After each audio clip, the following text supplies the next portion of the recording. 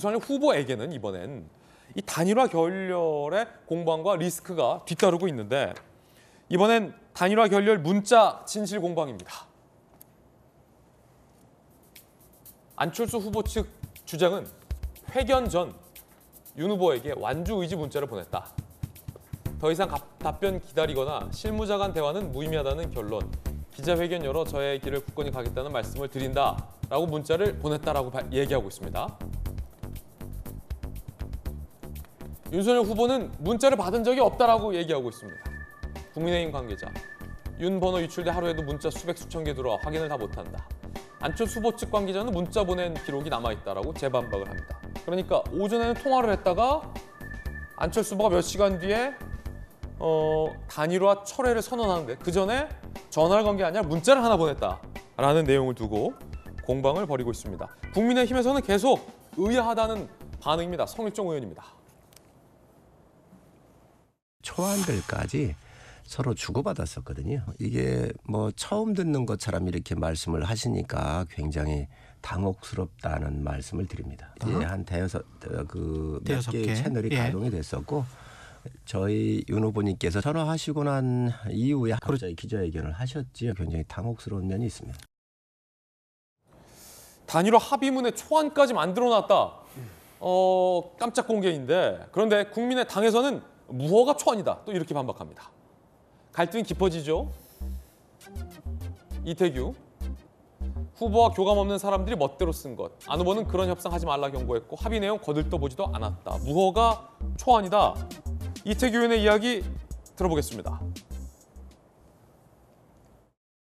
후보 사퇴설, 선거운동 포기설, 또 심지어는 이제 어, 경기지사 대가설까지 이렇게 막 퍼뜨리는 이런 악의적인 일들이 계속해서 일어났던 부분이 결국은 윤석열 후보와 국민의힘이 현재로선 단일화에 대한 의지와 진정성이 없다 판단할 수밖에 없다고 한 그런 이제 요인이다. 자 그런가 하면 국민의당 안철수 후보 측에서는 이, 이준석 당대표의 조롱도 단일화 결렬의 상당한 원인이었다라는 내용을 시사합니다. 이야기 들어보시죠. 고인이 갑자기 불시에 돌아가셨는데 음. 고인의 유지를 어디서 확인합니까? 근데 사실 저는 그 이야기를 듣고 깜짝 놀랐어요. 네. 또 공당의 대표 입에서 나올 정도로 우리 정치는 이렇게 어, 이 정도까지 됐는가? 뭐 조롱을 하거나 음. 그다음 에 협박을 하거나 혹은 뭐 또 상중에 또, 또 이상한 말들이 나오거나 하는 것을 보고 아 이분들은 그 단일화에 의사가 없구나라고 네. 판단하신 것 같아요. 이준석 대표의 조롱, 어 이게 문제였었다. 자 그러자 이준석 대표는 또 이렇게 반박을 합니다. 함께 보시죠. 정권 교체 놓고 장사 그만하라. 조롱은 제가 하지만 협박은 님들이 했다. 서울시장 때 생태 땅 꺼낸 모습이 데자뷰 된다. 정권 교체 바라는 국민들 마음 놓고 장사 그만하라. 이준석 제거해야 거간도 하고 지방선거 때도 한 자리 없고 그런 건데 말이다. 이 대표는 굉장히 강경한 이야기를 굽히지 않고 있는 그런 상황입니다.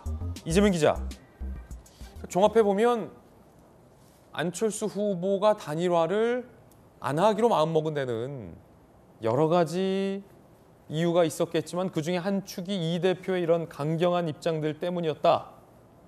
맞습니까?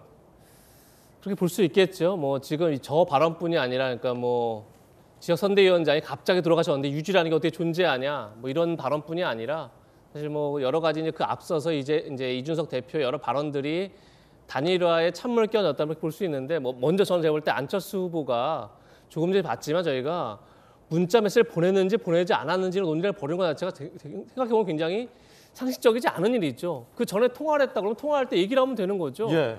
이미 시간 충분히 줬고 단일화 논의는 더 이상 의미가 없다 그렇게 생각한다 여기서 정리하자라고 하- 얘기를 하면 될 것을 얘기할 때는 그렇게 얘기 저 통화할 때 그렇게 얘기 안 하다가 갑자기 문자를 보냈다 그랬으니 난할 일을 다 했다는 것도 굉장히 좀 상식 밖의 일이죠 그래서 그런 점에서 제가 지난번에 말씀드렸지만 단일화 꼬리표를 떼기 위해서 단일화를 제안하는 것 자체가 사실은 좀 맞지 않는 거죠 그런 점에서 글쎄요 저 지금 단일화를 갑자기 이제 일주일 만에 다시 접어버린 게 과연 어, 적정한 거냐라고 봤을 때 제가 볼 때 안철수 후보도 분명히 문제가 있다 생각이 들지만 자 그- 한편으로 또 이준석 대표 역시 아니 사람이 유서를 쓰지 않으면 유지가 없다는 건 굉장히 상식 밖의 얘기죠.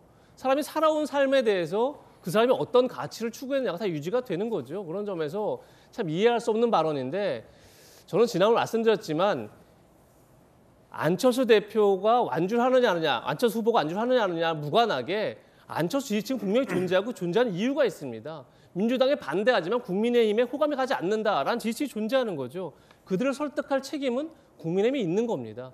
왜냐하면 윤석열 후보가 분명히 스스로가 정권 교체의 도구로 쓰이겠다라고 나온 사람입니다. 그럼 당연히 압도적 정권 교체를 위해서 할 수 있는 모든 걸 해야 되는 게 본인의 숙명인 거죠. 그런 점에서 저렇게 아- 어, 이준석 대표식으로 계속 저깃을 어, 단일의 어깃장을 놓는 게 과연 저- 적절하냐. 제가 볼 때 이준석 대표는 어, 지금 이 안철수 후보를 고사시켜야만 다음 지방선거에서 안철수 후보가 또 나오지 않는다 이렇게 생각하는 것 같습니다. 예. 그게 맞습니까?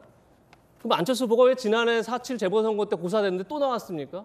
그 이유는 안철수 후보 역시 아까 말씀드린 것처럼 민주당에 반대하지만 국민의힘에 호감이 가지 않는 그 지지층이 존재하고 그 지지층에게 계속 도구로 쓰이고 있는 겁니다. 그럼 국민의힘은 그 비호감 지지층에게 호감을 얻도록 노력하는 게 맞는 건데 저 이준석 대표의 저런 발언들은 오히려 비호감을 강화시키는 거죠. 그런 점에서 굉장히 부적절하다 이런 생각은 분명히 듭니다. 예, 이재명 기자 의견 들어봤습니다.